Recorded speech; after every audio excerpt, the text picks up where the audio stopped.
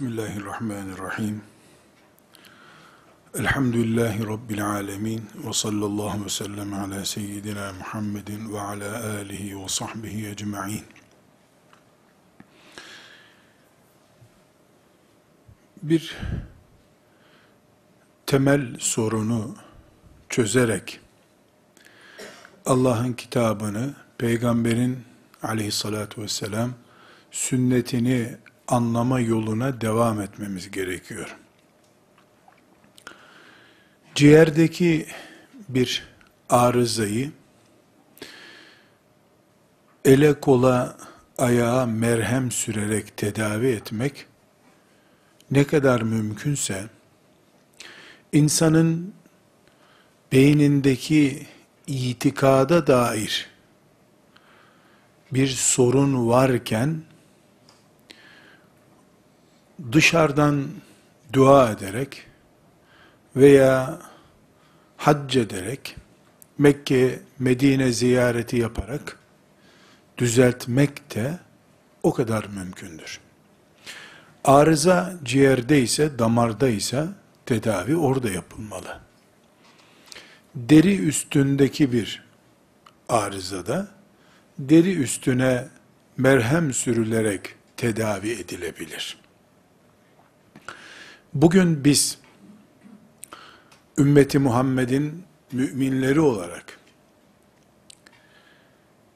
ciddi manada ciğer, damar, kalp hastalığı diyebileceğimiz hastalıklar yaşıyoruz. Bu yaşadığımız hastalıklar tefsir dersi okuyarak, hadisi şerif ezberleyerek tedavi edilemiyor. Önce ciğerde, kalpte, damarda, böbrekteki arızaların giderilmesi gerektiği kadar imanla ilgili arızaların da giderilmesi gerekiyor. Ayetler, hadisler müminin imanlı kalbinde çiçek açan şeylerdir. İman sorunlu ise her ayet, her hadis yeni bir ilave sorun demektir. Kur'an şifadır, mümine şifadır. İmanında sorun olana Kur'an şifa değildir. Aziz kardeşlerim, Ashab-ı kiram, Allah onlardan razı olsun. Ve tabi'in neslinin büyükleri ve onların yaşadığı dönem, Allah'a iman ettikten sonra, akıllarını, düşüncelerini, sıfır değerde ve ağırlıkta gördüler.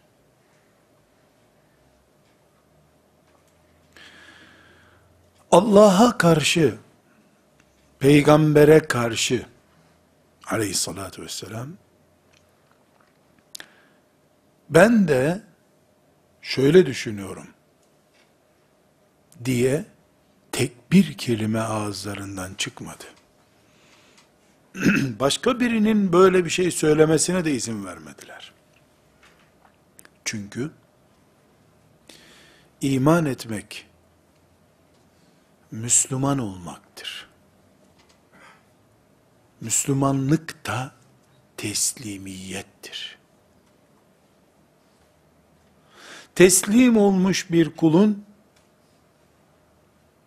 yer yer kendi görüşlerini de belirtmesi teslimlik değildir ki. Ashab-ı kiram yüzde yüz Müslümandılar yüzde yüz teslimdiler. Filan konuda bir itirazları yoktu. Filan konuya itiraz edeni Müslüman kabul etmiyorlardı. Daha sonra yüzlü yılların sonunda 110'lu 120'li yıllarda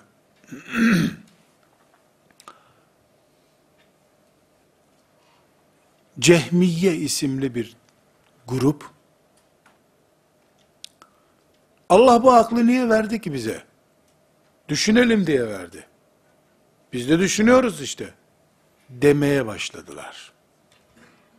Ashab-ı kiramın dünyada olmadığı bir zamanda, ashab-ı kiramın talebeleri olan tabi'in neslinin büyüklerinin olmadığı bir dünyada. Akıllarının da bir ekol olabileceğini, bir etki unsuru olabileceğini düşündüler. Daha sonra hicretin ikinci asrının sonlarında 180'li yıllardan sonra 250. yıllara kadar Abbasi döneminin en zirvede olduğu zamanda bu ekol Cehmiye ekolü bir mezhebe dönüştü. Bu mezhebi biz şimdi Mu'tezile mezhebi diye anıyoruz. Bu mezhep aklı adeta Kur'anlaştırdı. Akıl ayrıntılarına gireceğiz. Ama serüveni böyle özetlemek istiyorum. Şimdi biz anlaşılsın mesele diye bir örnek veriyorum. Müslümanın bilgi kaynağı nelerdir diye sorsam, din açısından, matematik, biyoloji açısından demiyorum. Din açısından bilgimiz nasıl oluşuyor diye sorsam, cevap, Kur'an, sünnet, icma, kıyas diyoruz. Yani Müslüman Kur'an'dan esinleniyor. Hadisten esinleniyor. Ümmetin icmaından esinleniyor. Kıyastan esinleniyor ve din oluşuyor. Bu cehmiye ile başlayan hareketten sonra, daha sonra mutezileleşen bu harekette, mutezile hareketinde, çok dikkat ediniz, kaynak, insanın aklı, Kur'an, sünnet ve icmadır diye sıralanmıştır. Kur'an üstü hale getirilmiştir. Allah İmam Ahmet bin Hanbel'e rahmet etsin. Onun başını çektiği bir yiğit alimler grubu, yiğit alimler grubu diye onları rahmetle yad ediyoruz. Bu çılgın harekete karşı ayağa kalktılar. Daha sonra e, ümmeti Muhammed'in bu Kur'an'ını akıldan sonraya atan, aklı Kur'an'dan da öne getiren çılgın kadroya karşı müthiş bir seferberliği oldu. Bu seferberlik İbn Teymiye ile beraber zirveye çıktı. İbn Teymiye bütün itiraz edilen ve e, pek çok kesim tarafından hatalı bulunan çıkışlarına rağmen İbn Teymiye bugün 10 11 cilt şeklinde basılmış olan Der'u Taarudul Akli ve Nakl isimli kitabı akılla vahyi karşılaştırmayı bir çılgınlık olarak gören ve bunu 40'tan fazla başlık altında reddeden yani hiçbir insanın aklı Allah'ın kitabının önüne geçemez diye ispat eden büyük bir servet. Der'u Tearidil Akli ve Nakl isimli kitabı muhteşemdir. Muhteşem bir çalışma yapmıştır. Ee, İslam düşüncesinde, Müslümanların düşüncesinde aklın yerinin önemli olduğunu, insanı insan yapan değerin akıl olduğunu ama aklı ve insanı yaratan Allah'ın kitabından daha önce gelmesinin mümkün olmadığını ispat eden bir çalışma yaptım. Bugün, bugüne gelindiğinde, ne yazık ki, Mu'tezile hareketinin yeniden canlandığını görüyoruz. Belki birileri çıkıp Kur'an'dan önce benim akıl yapım önemlidir demiyor. Yani aklını Kur'an'a ve hadisi şerife süzgeç yaptığını söylemiyor. Ama mesela Bukhari'de köpekle ilgili hadisi şerifler var. Köpeği necis gören hadisi şerifler var. 3, 5, 10 tane. Müslim'de var. Yüzlerce hadis, hadis kitaplarında köpeği necis tutuyor, bulunduğu yere meleğin girmesini mümkün değil diyor. Köpek bulunan yere melek girmez diyor. Mutezile çok net bir şekilde 1, 2, 3, 4 diye aklı bir numara, Kur'an iki numaraya getirmişlerdi. Ahmet bin Hanbel'i karşısında bulunca dayanamadılar. İbn Teymiye'nin mantık oyunlarına diyelim, onların ifadesiyle dayanamadılar, geri çekildiler. Şimdi biz burada hadisi şeriflerle diriliş yapmak için ciğer sorununu çözmemiz lazım. Eğitimini batıdaki üniversitelerde ilahiyat adı altında papazlardan din eğitimi alarak genelleme itibariyle ünvan sahibi olup Müslümanların topraklarına dönenler ve onların elinde yetişenler, batıda köpek insan kadar değerli bir hayvandır diye, Bukhari'de, Müslim'de ve diğer hadis kitaplarındaki köpeğin bulunduğu eve melek girmez hadislerini içlerine sindiremiyorlar. Çıkıp da biz Mu'tezile gibi önce akıl sonra Kur'an deriz de diyemiyorlar. Nereden başlıyorlar söze? E yahu kardeşim Allahu Teala e, kapımıza soktuğunda soktuğumuzda meleğin girmeyeceği hayvanı niye yaratsın ya? Bu Allah'ın kitabına aykırı bir şey. Kur'an'da var mı köpekler evinize sokmayın diye. Üstelik de bak ashab-ı keyfin kapısında bekleyip cennete bile girdi köpek. İnsanın cennete gireceği belli değil. Kıtmir cennete girdiler. Cennetlik hayvanı nasıl öldürürsünüz? Nasıl melek girmez? Allah! İnsanın 7-8 köpekle yatması geliyor gece rüyasında. Yani öyle mübarek bir hayvan mı er ki? Sorun ne burada? Allah'la kul boy ölçüşüyor. Ciğerleri kan, bağırsakları necaset dolu birisi gaybın düzeyinde akıl sahibi olduğunu düşünüyor. Kainatın ve insanın ve insana emredilen şeriatın hikmet üzere kurulu olduğunu ve bir imtihan için olduğunu insana en yakın hayvan köpeğin insandan en uzak durması gerektiğinin söylendiğini idrak edemiyor. Ben aklıma uymayanı reddederim de diyemiyor. Ashab-ı Kehf'in köpeğinden yola çıkıyor.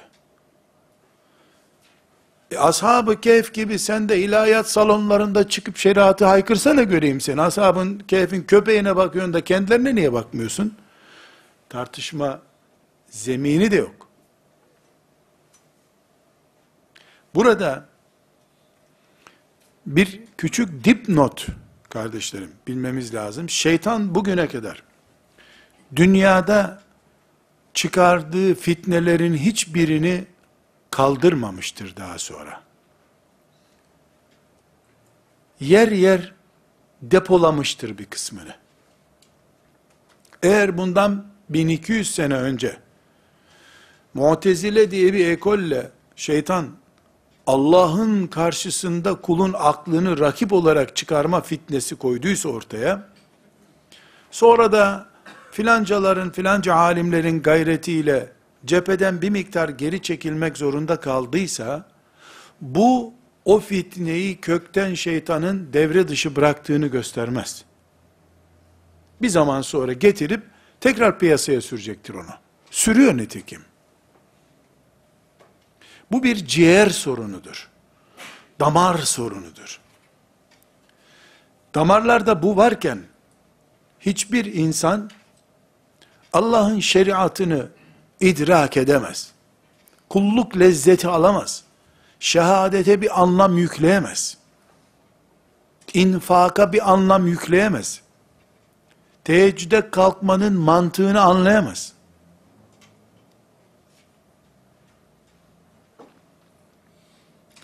O sadece para sayabilir. Para sayar gibi de ibadet sayar. Sadece fiziki nesneleri değerlendirebilir. İbadetlerin de fiziki boyutuna bakabilir. Yasakların fiziki boyutuna bakabilir. Köpeğin bulunduğu yere meleğin girmeyeceği şeklindeki hadisi şerifi bilir Allah bildiğini, bilir peygamber bildiğini, ben ne karışırım demeyen her insan bataklığa düşmüştür. Mantıkla bunu anlamaya kalktığında, e, köpek necisse, biz tertemiz yaptık bizim köpeği. Yıkadık. Şampuanla yıkıyorlar köpekleri zaten. Orta Doğu'da çocukların saçı başı toz toprak, Avrupa'da köpekler şampuanla yıkanıyor. Dolayısıyla çocuk sokma, köpek sok eve o zaman. Melek girsin diye. Dediği gibi, bunun bir adım ötesi, sarhoş etmedikçe, az alkolün de zararı yoktur. Hamile bırakmadıkça zinanın zararı yoktur. Demeye götürür. Çünkü bir kere aklı, Allah'ın şeriatının, vahyinin önünde, filtre olarak kullanmaya cesaret ettin mi sen? Sonunda kalkar dersin ki namaz Allah'ın önünde teslim olmaktır. Teslim olma anlamındaki bütün eylemler namaz yerine geçer. Deyi verirsin. Bunun adına da çılgınlık veya kendini mümin zannettiğin halde mümin olmamak denir. Bunun için kardeşlerim, kuluz, ne kadarlığına olduğunu bile bilmediğimiz bir dünyada imtihan için bulunuyoruz. Bizi Allah yarattı Celle Celaluhu ve bu kimliğimizle etten, kemikten, irinden, kandan oluşan kimliğimizle bizi yaratan Rabbimizin karşısına bir rakip gibi, bir alternatif gibi dikilemeyiz mümin isek eğer. Eğer Allah'ın kitabı ve peygamberinin sünneti bir şeyi önümüze din olarak koyduysa bizim aklımız yoktur o zaman. Aklımız dünya hayatı için olabilir.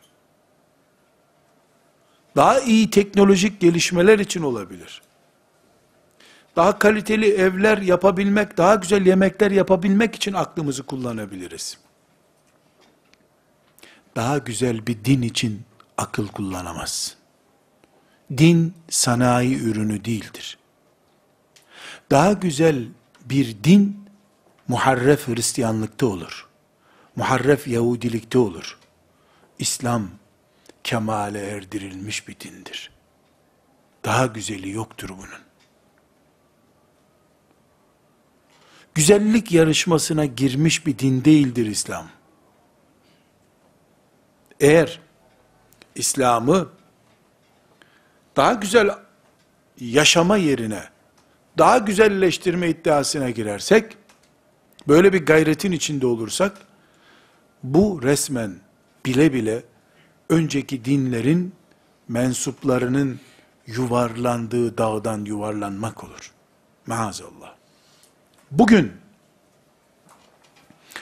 henüz evlenmemiş, çoluk çocuk sahibi bile olmamış, Anadolu'daki ifadeyle tüyü kararmamış, bıyığı bitmemiş çocukların veya torun sahibi ihtiyarların bir şey değişmez laik cumhuriyet ülkesinde kurulmuş okullarda okuyup Allah'ın dininin nasıl olması gerektiği konusunda ahkam kesmeleri, Cehmiye'nin veya Mu'tezile hareketinin yeniden şeytan tarafından piyasaya sürüldüğünü göstermektedir. Rabbinin rızasını kazanmak için bari sabah namazlarını camide kılayım demesi gerekirken modernizasyona uğratılmış, rektefe edilmiş bir İslam için mücadele etmeyi cihat kabul ediyor. Bu ciğer hastalığıdır. Böbrek hastalığıdır. Dalak yetmezliğidir. Kan mikroplu kandır. İnşallah bu dersin ileriki bölümlerinde Ebu Hanife'yi Ebu Hanife yapan şeyin aklındaki üstünlük olduğunu söyleyeceğiz. Daha akıllı, daha yüksek tonajlı aklı olanların daha değerli olduğunu söyleyeceğiz elbette. Ayrı bir konu. Ama Allah'ın şeriatını daha iyi anlamak için aklı kullanmak başka şey. Allah'ın dinini ve şeriatını çağına uygun hale getirmek için akıl kullanmak başka bir şey. Batının kamuoyu olarak hoşlanmadığı her şeyi şeriatımızda niye var diye gündeme getirenler böyle bir hastalığın nüksetmesinden dolayı bunu konuşuyorlardır. Niyetlerini Allah bilir. Kimsenin niyeti casusluktur veya hainliktir, satılmışlıktır. Böyle bir şey konuşamayız. Ama eylemi konuşuruz. Deriz ki bu eylem yanlış eylemdir. Mutezile'nin yaptığı şeydir. Ümmeti Muhammed'in Kur'an'ı, Resulullah sallallahu aleyhi ve sellemin sünneti, birilerinin filtresinden geçmeye muhtaç değildir. Arıtılmış, su gibi arıtılmış din üretemeyiz. Dinimizin kireçli bölümlerini filtre edecek bir filtre akıl yoktur. Hani kireç oranını düşürmek için filan derenin suyunu filtreye koyabilirsin. Allah'ın şeriatının böyle bir bölümü yoktur. Böyle iman ediyoruz. Eğer din, Kur'an ve sünnet boyutuyla filtre edilecek olursa, bu gelecekte İslam'ın kökten imha edilme projesinin başlangıcıdır deriz. Bunun için bizim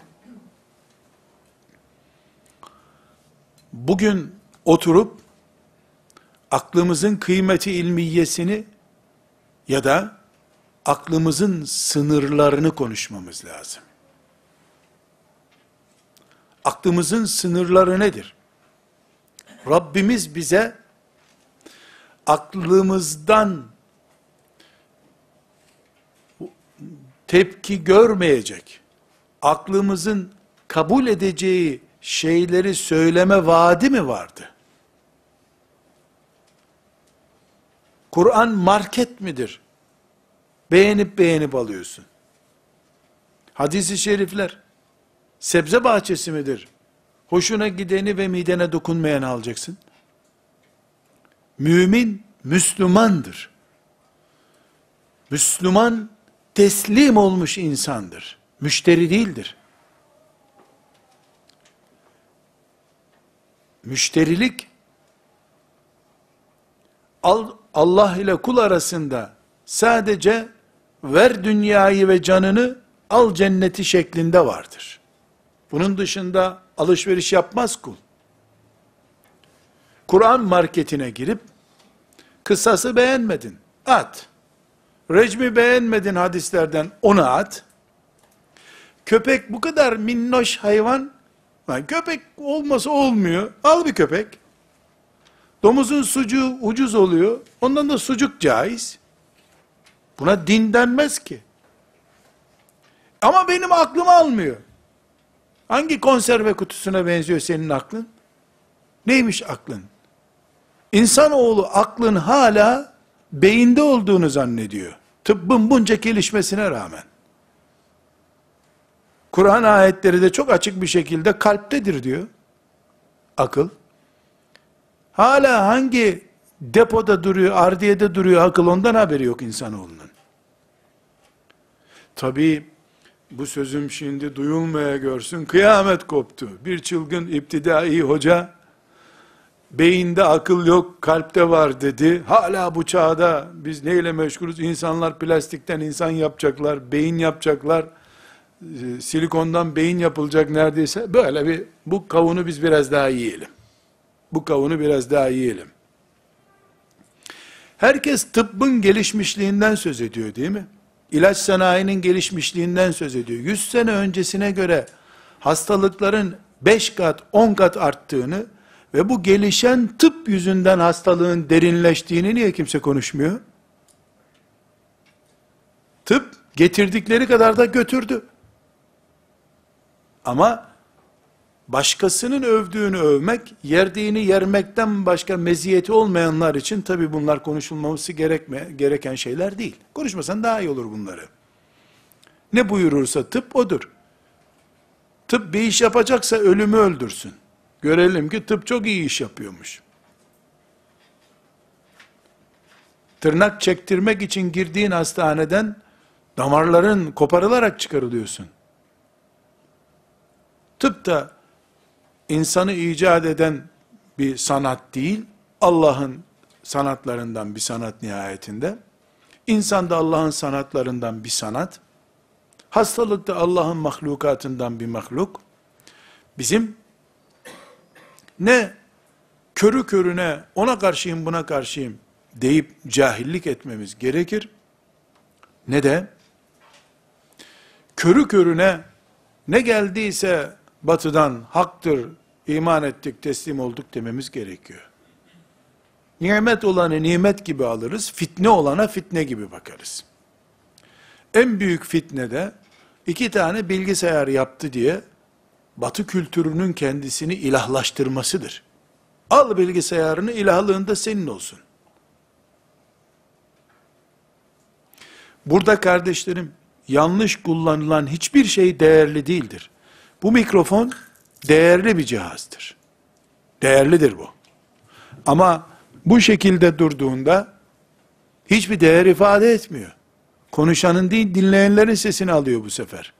Yerinde durduğu zaman orijinaldir, değerlidir. Tekrar yerine getirirsem işe yarayan bir cihazdır. Akıl Allah'a dönüp Allah'tan geleni anlamak içinse bu mikrofonun düzgün durduğu gibi duruyor demektir. Hayır, akıl insana doğru döner de insanın zevklerinin ve isteklerinin ne olduğunu anlamaya çalışırsa, sırtını Allah'a doğru dönerse akıl, bu mikrofon yanlış durduğu gibi yanlış yerde duruyordur. Bu mikrofon orijinalinde değerlidir diye ters durduğu zaman o değeri taşımıyor. Üstelik de musibet görüntüyü bozuyor, yanlış sesler alıyor, dert üretiyor. Halbuki bu konuşanın sesini alması içindir. Gürültü yapanın sesini almak için değildir. Akla da bu şekilde bakmak zorundayız. Bu felsefeyi, anlayış tarzını oturtamadığımız sürece arkadaşlar, burada biz 20 tane hadis dinleriz. Allahu Ekber, ne güzel söylemiş peygamberimiz deriz. Akşam bir toplantıya gideriz. Orada biri der ki, yahu, şimdi adalet mi Allahu Teala dünyada kadınlara bu kadar eziyet çektiriyor, annelik yaptırıyor, kocalarına itaat ettiriyor. Ondan sonra kocasına itaat etmeyen, onun yatak arzusuna cevap vermeyen kadın, meleklerin lanetiyle sabahlar diyor. Kadın o kadar eziyet çekiyor. Adam arkadaşlarıyla piknik yaparken o evde çocuklarla uğraşıyor. Allah bir kadın savunması. Sonra da cennette huriler hep erkeklere veriliyor. Gene erkek altın alıyor. Ayrımcılık, pozitif ayrımcılık yapıyor Allah. Diye bir dedikodu duydu mu, burada dinlediği hadisler isterse 200 tane olsun. Gitti. Neden gitti? Çünkü adam belediye meclisi başkanı zannediyor Allahu Teala'yı. Bu parselizasyonu niye böyle yaptın? Ya cennet kimin nesi de sana ne kime ne verirse ya. Sıkıştırdın mı da biraz daha o ayetlerin anlamı öyle olmaz o zaman. Biraz daha sıkıştırırsan o ayeti İbn Abbas ilave etmiş olmasın Kur'an'a. Daha da sıkıştırırsan Kur'an zamanı değil zaten. Çünkü ciğerlerde çürüklük var. Ciğer kan temizlemesi gerekirken kanı mikroplandırıyor. Yanlış görev yerinde. Aklını insan geliştirip Allah'tan alıp özümseme vazifesi için kullanması gerekirken bakıyoruz ki akıl batı toplumuna doğru dönmüş. Şeytanın ağzına açılmış. Şeytanın ağzından çıkan ne varsa onu anlamaya çalışıyor. Fitne budur. İmtihan çeşitlerinden biri budur. Bugün biz mümin olduğumuz için Müslümanız tamam mı? Şuurunu kendimiz ve çocuklarımız sorumlu olduklarımız açısından körü körüne itaat mi ediyoruz dense bile hiç anlamadan düşünmeden Müslümanlık yaşıyorsunuz dense bile Kur'an ve sünneti hiçbir insanın aklının filtre etmesine izin vermeyeceğiz. Böyle bir hayata, böyle bir Müslümanlığa sahip olmamız gerekiyor. Aksi olursa Kur'an ve sünnetimizi, Kur'an'ımız ve sünnetimiz Allah'tan geldi olduğu gibi kalır, peygamberden geldi olduğu gibi kalır yerine bir düşünelim bakalım ya bu bu yani bir incelemek lazım bunu. Bunu komisyona havale edelim. Bakara suresini bir komisyona havale et. Tövbe suresini başka bir komisyona havale et. Komisyonlar incelesinler. Yeni Bakara sureleri, yeni Tövbe sureleri icat etsinler. Hristiyanlar da böyle yaptılar zaten. Yüzlerce İncil çeşidi niye çıktı? Komisyon kararları işte. Komisyona havale, ilahiyatçılara havale ettiler kendi ilahiyatçılarına. Yahudiler ne yaptılar? Daha makasçı çalıştılar onlar. Onlar öyle komisyona filan da havale etmediler. Hahamlar kendileri hallettiler o işi. Allah da kitabını geri aldı. Ama Kur'an'a bunu yaptırmayacak. Her ne kadar birileri Bakara suresini komisyonlara havale etseler de, Tahrim suresini, Talak suresini filan komisyona havale etseler de, Necm suresini filan Müslümanların komisyonuna havale etseler de Allah kitabını koruyacak. Öyle vaat ediyor. Nasıl koruyacak? Nereden anlayacağız? Biz Allah kitabını koruyor mu, korumuyor mu? Şundan anlayacağız. Eğer bir asır ben Allah'ın kitabını Ebu Bekir'in okuduğu gibi anlarım. Radıyallahu anh. Onun dışında Kur'an'ıma kimse dokunmasın diyen ve bu uğurda can veren yiğitlerden arınmışsa Allah kitabını korumuyor demektir. Çünkü insan üzerinden korunacak bu kitap. Ama görüyoruz ki Mu'tezile fitnesini ayyuka çıkardığı zaman Ahmet bin Hanbel can verdi. Bağırsakları dışarı dökülecek kadar kırbaç yedi ama Allah'ın kitabına dokundurtturmadı. Onlarca, yüzlerce örneği var elhamdülillah. Bu asırda da öyle. Bu asırda da öyle. Kur'an'ı Latin harfleriyle ortaya koyalım mücadelesine karşı nasıl Müslümanlar dağlara, mağaralara çekirdiler ve Allah'ın kitabına dokundurtmadılar. Allah onlardan razı olsun. Demek ki Allah kitabını kıyamet gününe kadar muhafaza ediyor. Edecek de bundan sonra. Tek temennimiz Allah'tan bizi o yiğitlerden biri olarak kabul buyuracağı amellerin sahibi yapmasıdır. Kafirlerden sıkılıp utanıp acabalarla, keşkelerle Kur'an ayetlerine bakanların yanında değil, bir kişi kalacaksa bu Kur'an'ı müdafaa eden, hadisi şerifleri müdafaa eden, inşallah o benim diyen, şuurlu kadınlar, şuurlu erkekler, taptaze delikanlılar, Allah'ın muhafaza etmekte kullandığı yiğitleridir. İnşallah onlardan oluruz. Çok net bir şekilde kardeşlerim, akıl konusunu irdeliyoruz. Aklın sınırlarını, belirliyoruz. Deliliğe, davetiye toplamıyoruz herhalde. Ama aklı delirtmeye de karşı çıkıyoruz. Henüz akıl kendini keşfedememiştir.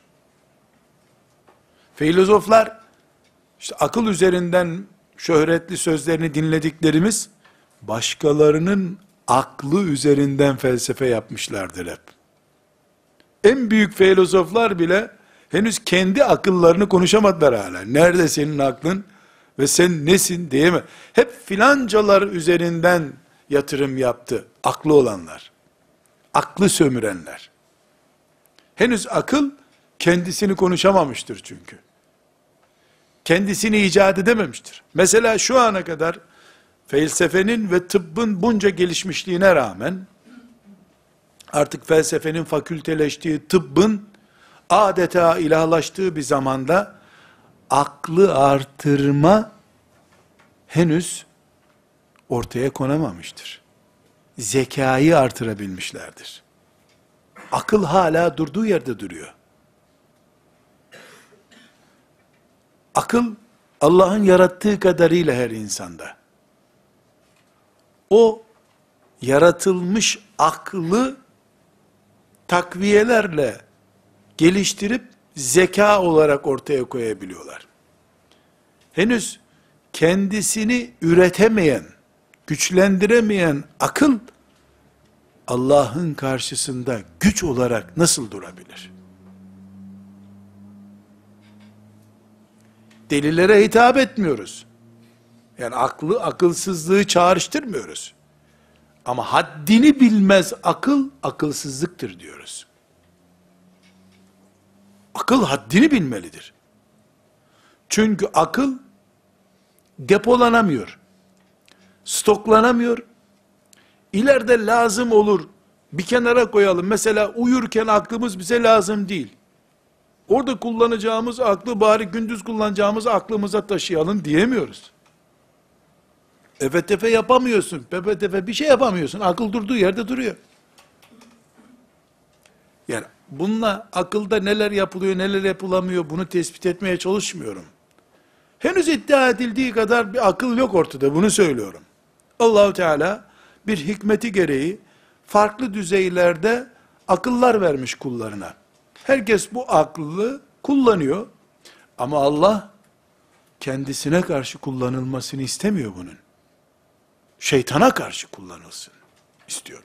Burada not halinde alabileceğimiz akılla ilgili bazı tespitler yapacağız. Ondan sonra da Müslüman bir insanın Allah'ın vahyine karşı aklını kullanmasının sonuçlarını değerlendireceğiz. Ki hadisi şeriflerde bildiğiniz gibi bir vahiy çeşididir. Binaenaleyh hadisi şeriflere ve ayet-i kerimelere karşı ben bana göre, bizim gruba göre, bizim büyüğümüze göre diye başlayan işte ilk başta örnek verdiğim köpek e, hadisleri gibi ki e, şimdi köpek hadisleri diye bir e, yani köpeklerin e, meleklerin girmesine engel olan olayı e, hükmü anlatan hadisler diye bir hadislerden başlıyor başladılar diyelim. Ama bir salındığı zaman onların e, fırsatları göreceğiz ki maazallah inşallah görmeyiz. Kur'an'dan yüzlerce ayeti asrın idraki dışında bulup yok kabul edeceklerdir. Ve akıl madem ki kanun koyuyor, o zaman akla uymuyor diyeceklerdir. Akılla ilgili notlarımızı sırayla tespit edelim. Bir kere kardeşlerim, akıl, Allahu Teala'nın nimetlerinin en büyüklerinden biridir. Akıl bir nimettir. Bütün nimetler gibi şükür ister. Aklın nimet olarak şükrünün yapılması da yaratıcısına hizmet ettirilmesiyle mümkündür. Bir fitne unsuru olarak kullanıldığında küfran-ı nimet yapılmış olur. Nankörlük yapılmış olur. Bir başka husus, akıl ve zeka aynı şeyler değildir. İnsan çok zeki olabilir, aklı kıttır. Çok akıllı olup zeka sorunu yaşayan da olabilir. İnsanın ciğer ve kalbinin bulunması gibi bir şey bu. Kalp kanı pompalıyor, ciğerler temizliyor, böbrekler filtreliyor. Herkesin başka vazifesi var. Bir insanın ciğerleri sapa sağlam, böbreği arızalı olabiliyor. Böbrek sapa sağlam, ciğerlerde arıza olabiliyor. Akıl da böyle, zeka da böyle. Bir başka nokta, yani dersimiz bu olmadığı için zeka nedir, nasıldır bu konulara girmiyorum. Bizim Kur'an'ımız, akıl süzgecine sokmadığımız Kur'an'ımız, çok açık, net, hiç tartışılmaya gerek kalmayacak kadar bariz cümlelerle kalbi akıl merkezi olarak gösteriyor. Peygamber Efendimiz sallallahu aleyhi ve sellem de eliyle işaret ederek kalbi gösterip akıl buradadır diyor. Hac suresinin 46. ayeti Euzu billahi mineşşeytanirracim Bismillahirrahmanirrahim Efelem yesiru fil ardı fetekûne lehum kulubun ya'kilûne biha fetekûne lehum kulubun ya'kilûne biha yani bil kulubi Efelem yesiru fil ard Yeryüzünde dolaşmıyorlar mı onlar? Dolaşmıyorlar mı? Görmüyorlar mı dünyayı demek? Fetekune lehum kulubun kalpleri var da ya'kilune biha o kalpleriyle akıllarını kullanacak şekilde düşünemiyorlar mı?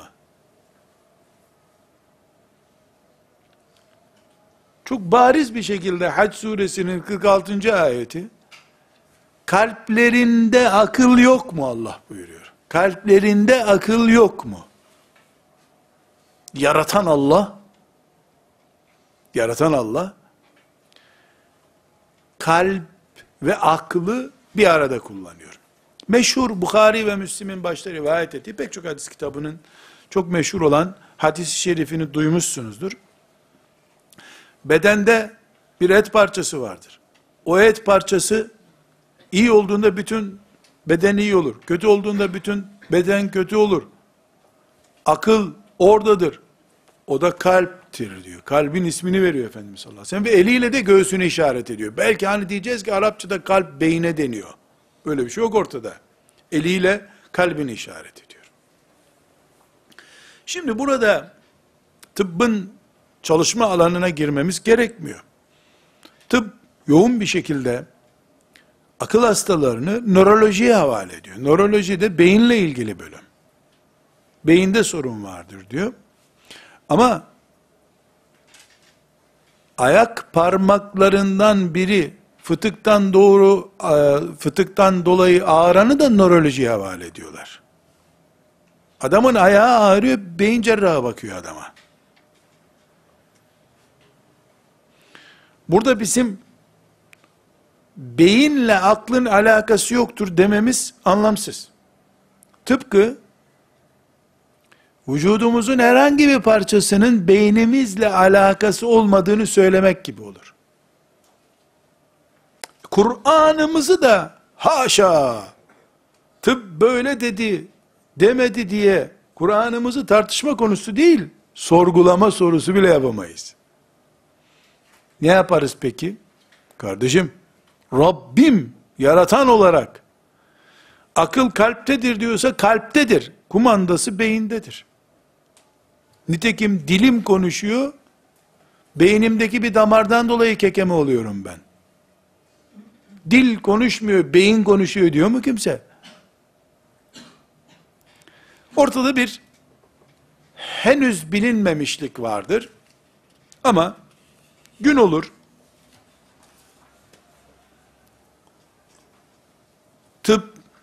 biraz daha ilerler. İnsanın düşünme kapasitesi artar, inceleme kapasitesi artar. Kalbin akılla bağlantısı veya beynin akılla bağlantısı yeniden keşfedilir. Sonuçlar değişir. Hiç önemli değil.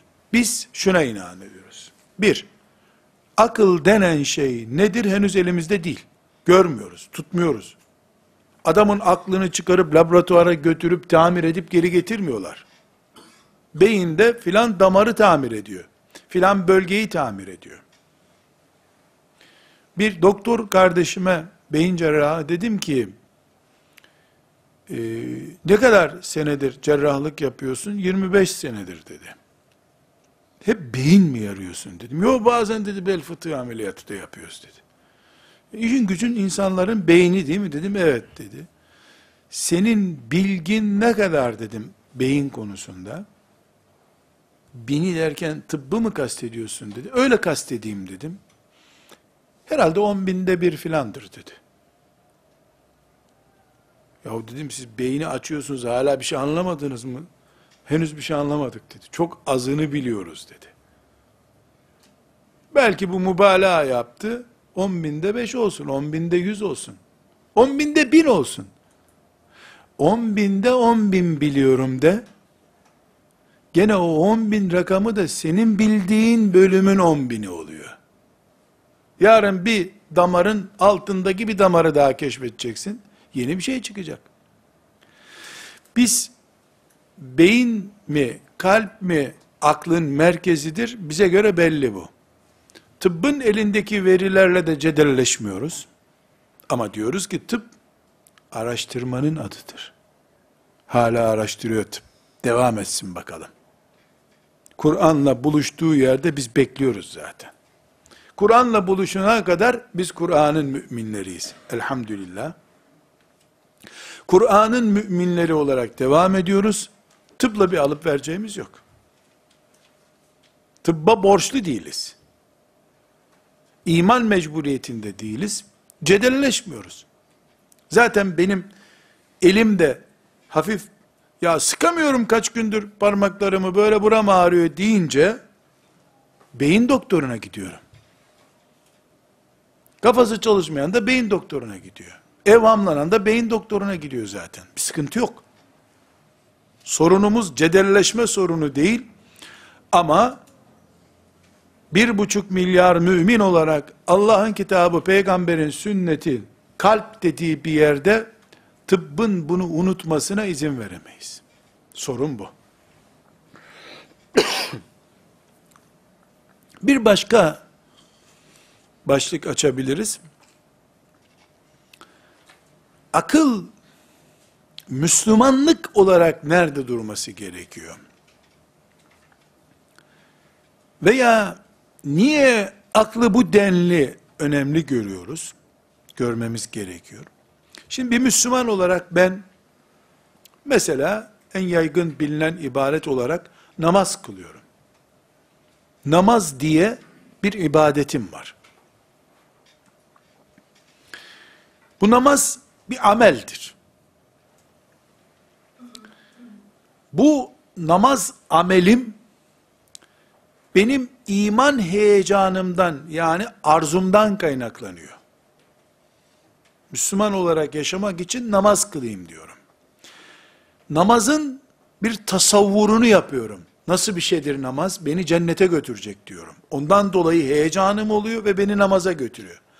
Bu tasavvura beni namaz kılma iradesi götürüyor. Namaz kılmayı düşünüyor olmam lazım. Bu düşünce akıldan gelir. Aklı olmayan bir şey düşünemez. Namazdan yukarı çıktığımızda önümüzdeki tablo budur. Yukarıdan aşağı doğru indiğimizde akıllı bir adam oturur, cennete girmeyi ister, iradesini kullanır. Bu irade nasıl olacağına dair bir düşünceye dönüşür. Namazın farzlarını, abdestlerini öğrenir. Ve bunu heyecana dönüştürür, cennete girme heyecanına dönüştürür, neticede namaz kılar. Bu yüzdendir ki Allah namaz gibi ibadetleri, imani değerleri aklı olmayanlardan istemiyor. Aklı olmayan bu süreci kullanamaz. Bedeni mesela aklı olmayan insanlar bedenlerini namaz kılan gibi kullanabilirler. Ama bu namaz kılma eğilip kalkmanın ötesine gitmeyen bir şey olduğu için ondan sevap kazanmazlar. Sevap kazanmayacaklar işi de Allah onlara emretmez. Burada bir nokta koymak zorundayız. Noktamız şudur. Allahu Teala'nın yarattığı kullarından kulluk istemesinin birinci şartı insan olmalarıdır. İkinci şartı da akil olmalarıdır. Yani akıl sahibi. Akıl sahibi olmayanlardan Allah kulluk istemiyor.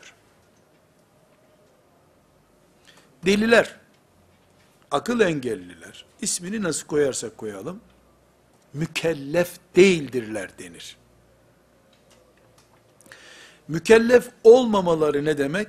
Yani onlardan Allah kulluk istemiyor. Bir soru sorabiliriz burada.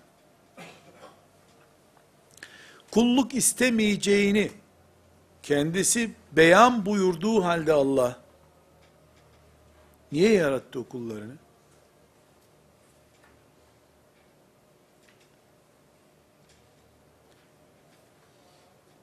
Yani akıllı olmayan biri, çocuk, bebek, akıl nimetinden mahrum olarak yaratıldı.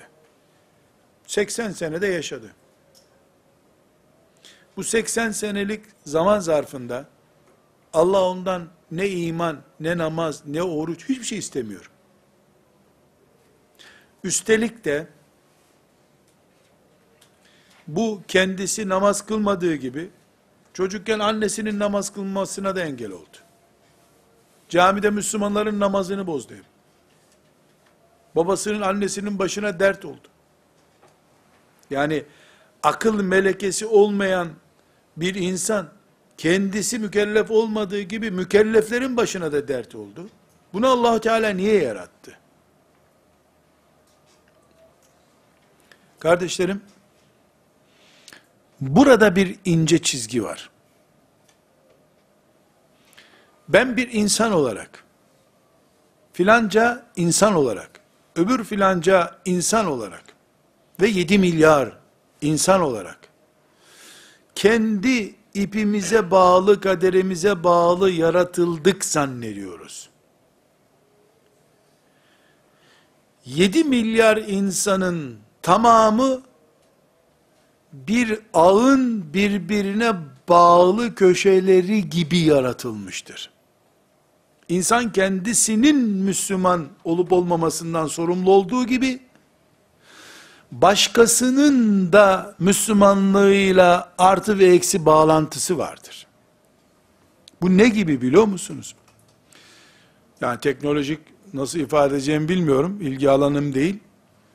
Bir makinede, bir bilgisayarda herhangi bir parça o bilgisayarın bütününün çalışma nedenidir. Bir makinede herhangi bir vida kapağını kapatan bir vida bile olsa çalışma nedenidir. O olmadığında makine çalışıyor gibi görünse de arızalıdır. Ses yapar. Kapağının sıkılmadığı için vidası tak tak tak ses yapıyordur çalışırken. Herhangi birimiz insan olarak Müslüman olup o şekilde yaşayıp ölüp Rabbimize gideceğimizin imtihanı için yaratıldığımız gibi yakın çevremizden bütün insanlığa yayılacak çapta bir sistemin parçası olarak da yaratılmış oluyoruz. A insan akıl nimetinden mahrum olduğu için kullukla mükellef değil.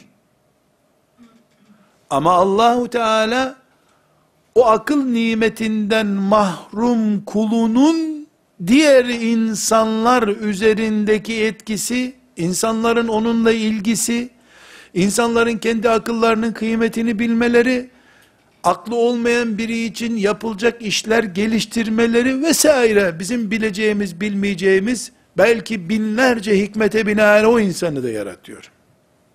Ama biz insanları tarlada yetişen domatesler gibi dalından koparanı hemen salça yapıyorsun, yemeğe karışıyor, gidiyor. Zannedersek bunu anlayamayız. Bütün insanlığı Allahu Teala'nın tek bir parça gördüğünü, bir insan kadar gördüğünü anlarsak bunu anlarız. Biz kendimizi ve bizimle bağlantılıları görüyoruz. Yaratan ise bütün insanlığı bir insan gibi görüyor. Bunu nereden anlarsınız? Kur'an-ı Kerim'de cinayetten söz eden ayette veya bir insana iyilik yapmakla ilgili ayette bütün insanlığı öldürmüş gibi olmaktan söz ediyor bir insanı öldürünce. Bir insanın katili bütün insanlığın katili gibi kabul ediliyor Kur'an'da. Bir insanın hayat bulmasına sebep olan da bütün insanlığı ayağa kaldırmış gibi oluyor. Çünkü Allah'ın gözünde bir insan ölmedi.